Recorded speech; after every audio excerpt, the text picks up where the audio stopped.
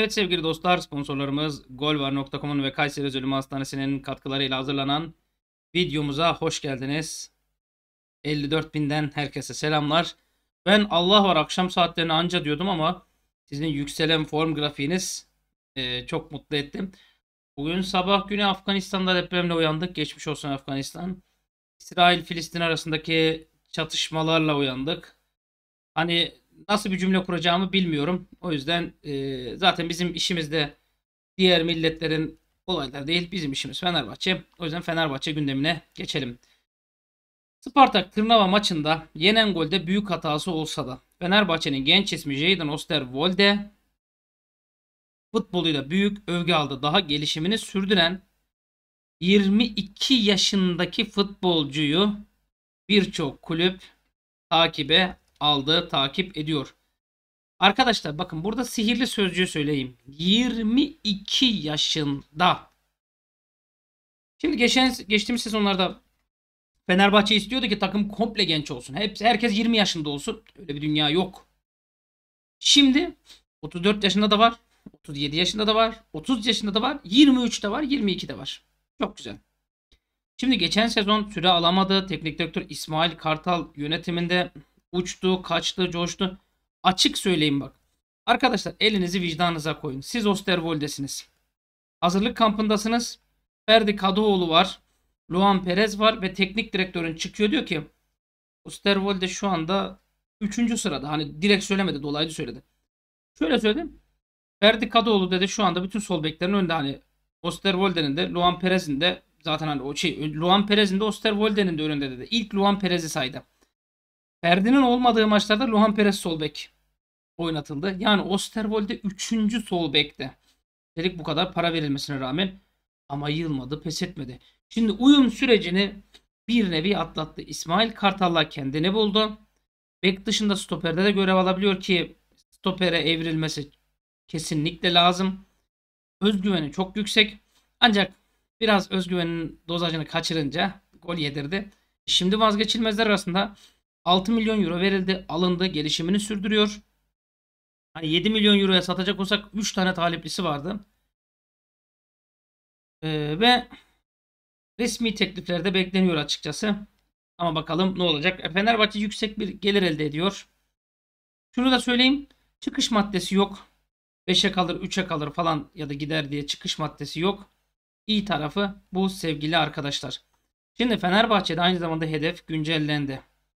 Spartak Tırnava'yı 2-1 mağlup eden Fenerbahçe 15'te 15 yaptı. Hedef ne? 16'da 16. Hayır asla böyle bir hedef yok. Hedef bir sonraki maçı kazanmak. Bir sonraki resmi maçı kazanmak. Kimle resmi maçımız? Kasımpaşa'yla. Anlatabiliyor muyum? Lig mesaisi ara vermeden devam etti. Takımımız e, ısınma koordinasyon hareketleriyle idmana başladı.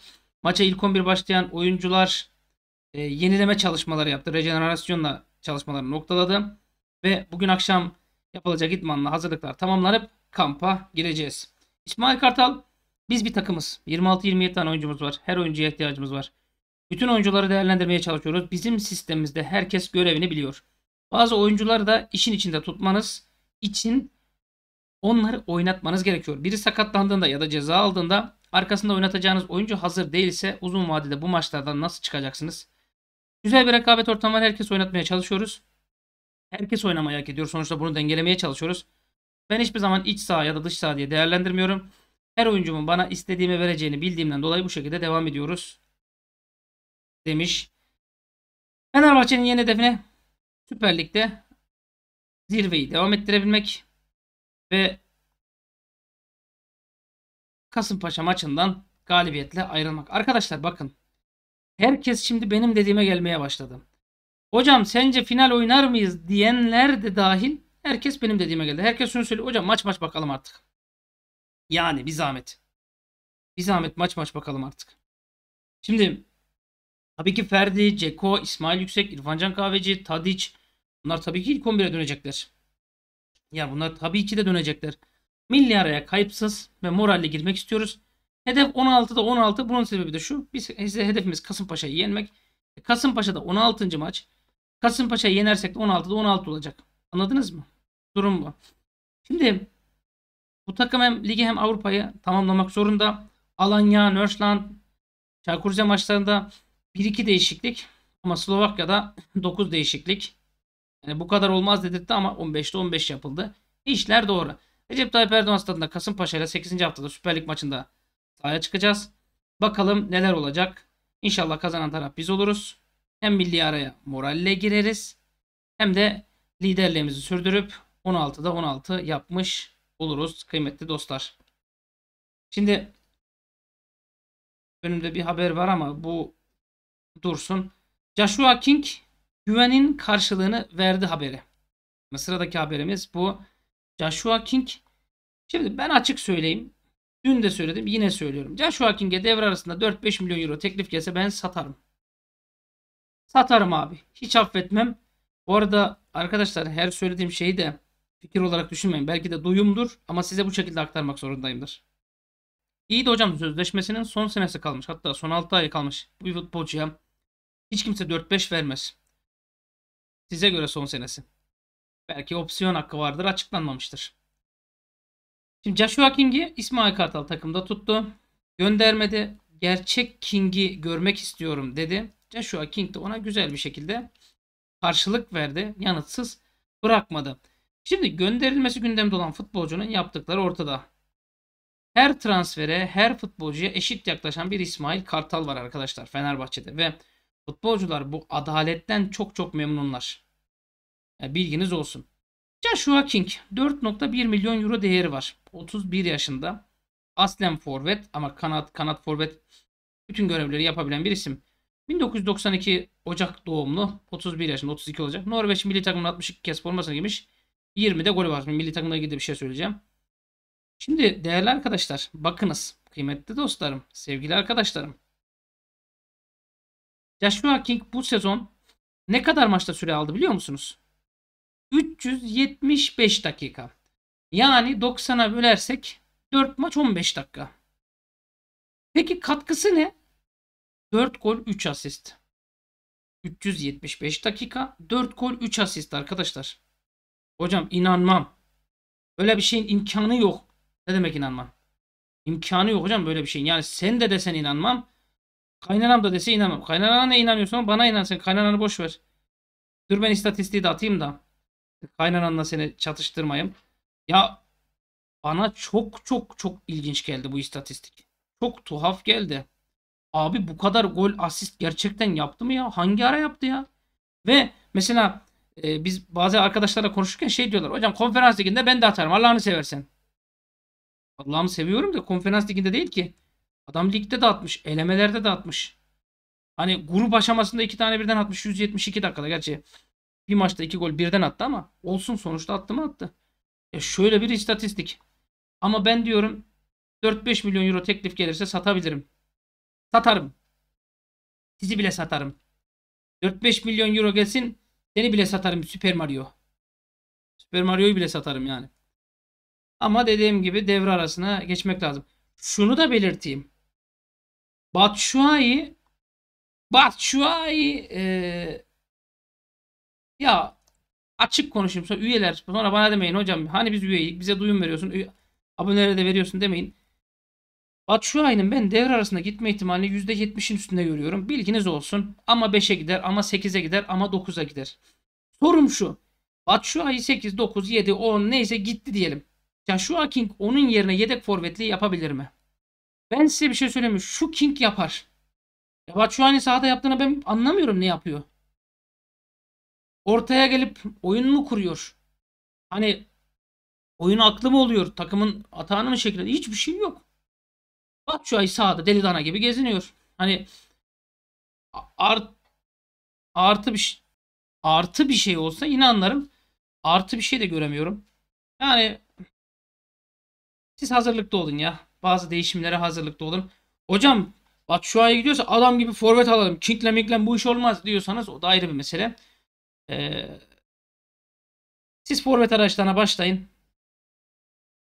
aslanlı maslanlı bir logosu olan ligden kiralayabileceğimiz futbolcular arayın. Bu arada Mustafa Hoca önemli duyumu bir kere söyler. ikinciyi tekrar etmez. Bunu daha hatırlatayım. 7-1 sonrası tüm takım istifa etti. Fenerbahçe'nin Konferans Ligi H grubundaki rakiplerinden Ludogoresk'te Nörsland karşısında alınan 7 birlik mağlubiyet sonrası tüm yönetim ve teknik ekibin istifa ettiği açıklandı. Süleyman'ın yemedi ellam diyordu ya. Bu, o neydi ya? Ha şey Truva tamam. Süleyman'ın adamların yememiş. Şimdi düşünsene adamların mantığını düşünün. Ulan Nörsland bize 7 attıysa Fener Nörsland'a 3 attıysa bu Fener bizi diye düşünmüş olabilir. Beşiktaş'ta da Şenol Güneş istifa etti hocam. O zaman Şenol Güneş de şöyle söyledi. 15'te 15 yaptılar. Daha bizimle karşılaşmadılar. E, bizdeki durum malum. Bunlar 15'te 15 yaptıysa bizim 8-0'ın demiş de olabilir hocam. Yok Beşiktaş gibi bizimle alakalı değil ama şu bir gerçek. Beşiktaş'ınki çok bariz belliydi. Yani bir şeylerin çok kötüye gittiğini aptal olmaya gerek yok. Herkes görmüştür. O bizle alakalı değil Beşiktaş'ınki. Ama Nörçland 7 birlik mağlubiyet. Arkadaşlar bakın büyük eleştiriler. Yönetim, teknik kadro hepsi istifa etmiş. Ve Avrupa kupalarında aldığı en ağır yenilginin sorumluluğunu tüm futbolcuların yapılanmasının aldığını tüm futbol yapılanmasının aldığını kamuoyuna açıklamışlar. 10 haftası geride kalan Bulgaristan Ligi'nde toplam 20 puanla 6. sırada. Konferans Ligi'nde 2'de 3 puanı var. O da 3 puanın şeyden aldılar. Tırnava'dan aldılar. Tırnava bize asıldığı gibi asılmadı. Biz de yedeklerle çıkmamışlar. Konferans Ligi'nde bir sonraki maç 26 Ekim'de Fenerbahçe ile. Tam 19 gün sonra. 19 güne inşallah bu yapılanma sürmez. Ama şunu söyleyeyim. 19 Ekim'de Kadıköy'deyiz. Yani 19 gün sonra Kadıköy'deyiz. 26'sında. Sonraki maçta direkt oradayız. Yani Ludogores'le arka arkaya iki maçımız var. Bakalım ne olacak. Fenerbahçe Beko galibiyetle başladı. Biz bütün branşlara değinen bir kanalız arkadaşlar. Fenerbahçe Beko Türk Hava Yolları Euroleague ilk hafta maçında Emporia Armani, Armani Milano'yu 85-82 mağlup etti. Kaldı ki maç uzatmalara gittiydi diye hatırlıyorum. Ben basketboldan çok anlamadığım için takip edemiyorum arkadaşlar. 76-76 uzatma 85-82 3 sayılık atışlarla iyi yüzdeyle bitirdi. Datome için tören düzenlenmiş. Eski basketbolcumuz Luigi Datome, Datome maç öncesinde e, törenden onurlandırılmış. Yani Fenerbahçe'de bakıyorum Wilbeck'in 19 Kuduric 15 Papaginnis 15 diye yazıyor. Yani güzel bir başlangıç. Her şeyin hayırlısı olsun. Fenerbahçe Alagöz'den 66 sayı fark. Arkadaşlar bakın kadınlar basketbolda 100 sayılar kolay geçilmez. Asla kolay geçilmez. Ama Fenerbahçe Alagöz e, Fenerbahçe Alagöz Holding tam adı bu. Hatırlayın Süper Kupa'da yüzü geçmişti. Şimdi de Süper Lig'in 5. hafta maçında Hatay Büyükşehir Belediyespor'u 114-48 mağlup etmiş. 114-48. Çok ciddi bir sayı. Ve e, ING Kadınlar Basketbol Süper Ligi diye yazayım. Puan durumunda Fenerbahçe 5'te 5 diye biliyorum ama bir daha bakayım. Evet 5'te 5. 391 sayı. 226 7 sayı var. Yani averaj 165'te. Orman Spor 4'te 4'te geliyor. Antalya 07 4'te 3'te geliyor. Galatasaray 4'te 2. Zaten birini bizden yedi. Kayseri Basket 4'te 2. Hatay zaten son sırada Hatay Büyükşehir Belediye. 4'te 0 çekmişler. Normal. Çankaya, Botaş, Uludağ diye gidiyor. Nesibe Aydın. Merhaba günaydın. Beşiktaş yok sanırım burada. Yani durum bu şekilde. Şimdi e, milli takımlar. Arkadaşlar milli araya giriyoruz. Pazar gününden sonra. Abi savaş çıkmazsa, kıyamet kopmazsa hani artık her şeye hazırlıklıyız. Fenerbahçe'nin 15'te 15 yaptığı bir dönemde zaten bir şeyler olacaktı canım. Yani normal.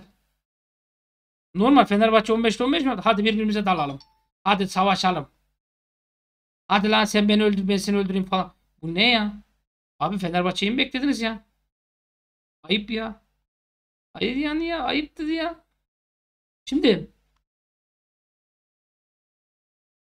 milli takımlara giden futbolcularımız. Ferdi Kadıoğlu, Samet Akaydın, İsmail Yüksek, İrfan Can Kahveci. 4 tane Türk'ümüz var.